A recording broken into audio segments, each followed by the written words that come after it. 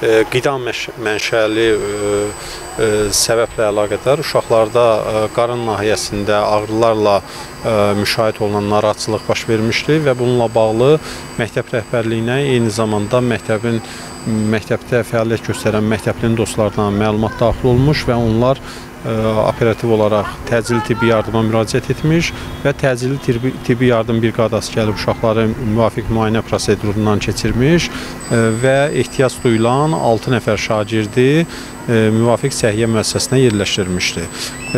Həmin şagirdlərlə bağlı uyğun müayinə və müalicə prosedurları həyata keçirilmiş və bundan sonra günün sonuna doğru həmin şagirdlər evlərinə buraxılmış.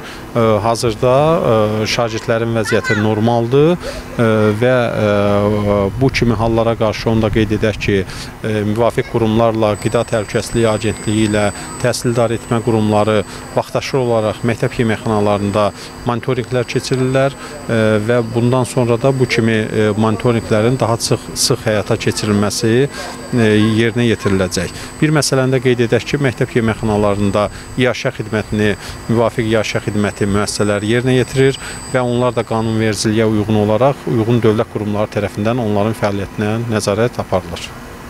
Təşəkkür edirik. Dünən baş vermiş hadisədə, zəhərlənmədə həmin şagirdlər bu gün məktəbdə təhsillərini davam edirlərmi? Biz bu gün məktəbdə məktəb rəhbərliyindən bu vaxtda günün əvvəlində məlumat aldıq. Həmin şagirdlər bu gün dərsdə iştirak eləməyiblər.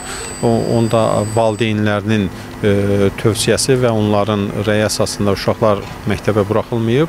Amma növbəti həftədən yəqin ki, şagirdlərin dərslərdə davam etməsi normal qaydada davam edəcək. İnşallah. Yaxşı, bəs qida hardan daxil olmuşdur məktəbə?